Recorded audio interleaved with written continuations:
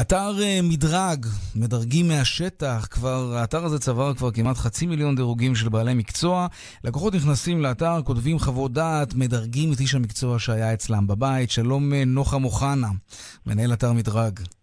שלום יאיר, מה שלומך? בסדר גמור, תודה רבה. איך, איך זה עובד? כל אחד יכול להיכנס לאתר שלכם, להזמין איש מקצוע ואחר כך לדרג אותו? אז אני אסביר. אה, יש לנו פה שיטת דירוג. אה, מדרג זה אומר אה, דירוג, יש שיטה. שיטה אומרת דבר כזה, עסק שרוצה להיכנס לאתר, כן. צריך להציג לנו רצף של חשבוניות. אנחנו מתקשרים ללקוחות הקודמים שלו, כדי לוודא שזה לא חברים טלפונים. ואם תפסנו לפחות חמישה אנשים וכולם, ללא יוצאים מן הכלל, המליצו עליו, נתנו לו ציון ממוצע מעל שמונה, הוא נכנס לרשימה, וזה רק השלב הראשון. עכשיו נניח יאיר שיש לו ציון תשע וחצי, הוא ברשימה, עכשיו פונה אליו לקוח.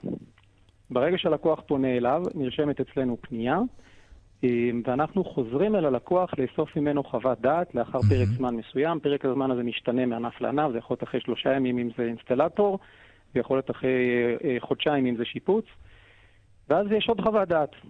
אה, אנחנו מצלצלים לכל לקוח, יש לקוחות ותיקים שאנחנו מאפשרים להם לעשות את זה לבד, אבל זה אחוז קטן מהדירוגים. זה השלב השני, ככה העסק צובר חוות דעת, יש עסקים שצברו מאות, יש עסקים שכבר צברו אה, אלפים של חוות דעת. כלומר, חוות הדעת לא נכתבות באופן עצמאי על ידי הלקוחות, אלא אתם גובים את חוות הדעת אנחנו בעצמכם. עושים, אנחנו, יש, ההחלטה שלנו שיש אה, דירוג לכל שירות. לכל שירות יש בקרת איכות. Mm-hmm. ואם הלקוח... כי תמיד יש אה, פחד שמישהו יכול, אתה יודע, על, על סמך אה, סכסוך לגיטימי בין לקוח לאיש מקצוע ולעשות עוול. נכון, נכון. אז בשביל זה צריכה להיות שיטה. השיטה mm-hmm. אומרת מתי מתקבל דירוג, מתי לא מתקבל דירוג. ובשלב השלישי, אחרי שהעסק כבר צבר את חוות הדעת, אנחנו עושים בקרת איכות חוזרת. כי לפעמים כשאתה יוצא מהמוסך, אתה נותן לו דירוג 10, אבל אחרי חצי שנה אתה מגלה שזה לא בדיוק 10. והבקרת איכות חוזרת נעשית אחרי uh, תקופה ארוכה, זה יכול להיות חודשים במקרים מסוימים, ובמקרים אחרים זה יכול להיות אפילו גם אחרי שנים. למשל, אם קבלן איתום עשה לך איתום, כן. אנחנו נבדוק את האיתום גם אחרי... Uh, מה זה נבדוק? אנחנו לא בודקים פיזית בשטח, אלא שואלים את הלקוח אחרי שנה ושנתיים אה, אם זה עדיין, אה, חוות הדעת שלו ללא שינוי. עדיין תקפה. יש קשר עסקי ביניכם לבין אנשי המקצוע שמופיעים אצלכם באתר? או, זו שאלה מצוינת, כי באמת יש אה, דיסהרמוניה בין פרסום לבין דירוג. כי פרסום אומר שמי שמשלם לך הכי הרבה, מקבל את החפיפה הכי גבוהה. זה, זה, זה פרסום. ודירוג, לפחות מה שהלקוח מצפה מדירוג, זה שמי כן. שהכי טוב ומי שקיבל את הדירוג הכי גבוה, הוא יהיה ראשון והוא יקבל את החפיפה הכי גבוהה. ומי שנמצא הכי נמוך ולא מעוניין להמשיך ולהופיע אצלכם באתר כי זה עושה לו רע?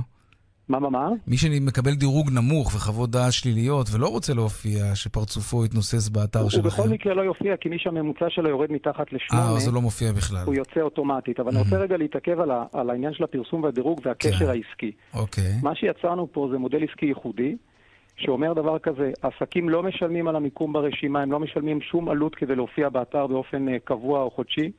מה כן? הם משלמים עמלה הוגנת פר לקוח שמגיע אליהם, וזו עמלה שהיא זהה לכל הענף. למשל, כל המובילים באתר משלמים עמלה זהה, כל האינסטלטורים אה, אה, באתר משלמים עמלה זהה. למה זה חשוב שזאת תהיה עמלה זהה? כדי שלא תהיה לנו איזושהי הטיה לטובת עסק כזה או אחר. אנחנו רוצים שהאינטרס שלנו יהיה כמה שיותר קרוב לאינטרס של הלקוח. הלקוח רוצה לראות בראש הרשימה את מי שדורג על ידי הלקוחות הקודמים כטוב ביותר. והאינטרס שלנו זה כי הראשון ברשימה משלם לנו אה, עלות אה, אה, fix per לקוח אה, מסוים, כן. אותו דבר גם המקום האחרון. ולכן אנחנו רוצים שייקח את הכי טוב. באמת, אם תיכנס לאתר אתה תראה שיש עסק עם 2,500 חוות דעת, ויכול להיות עסק עם 10 חוות דעת. יש כמובן הבדל. מה? יש כמובן הבדל בין 2,000 ל-10 חוות דעת. נכון, נכון. תגיד, המודעות בציבור וכל מיני תוכניות ריאליטי, כמו יצאת הצדיק וכולי, אה, זה דברים שעושים טוב לאתרים מהסוג שלכם? הציבור הישראלי היום ער יותר, מודע יותר? אה, תראה, יאיר, מצד אחד זה מציף את הבעיה. כן. כלומר, הציבור יותר מודע לבעיה. מצד שני, אני חושב שלפעמים גם נעשה עוול לתדמית של עסקים בתחומים מסוימים. והתדמית הזאת היא לא בהכרח... לא בטוח שהתוכניות האלה יצרו את העוול. מה אתה אומר? לא בטוח שהתוכניות האלה יצרו נכון. את העוול, יכול להיות לא, שה... יש, איך אומרים, זה, יש, להם, יש להם זכות בעניין.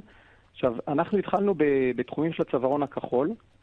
אה, אלו שיותר עובדים מהידיים. בשנים כן. האחרונות נכנסו גם את תחומי הצווארון הלבן, כלומר, החל מאדריכלים ועד אה, רופאי שיניים ומתווכים. יפה, מעניין. אה, נוחם עוד אוחנה.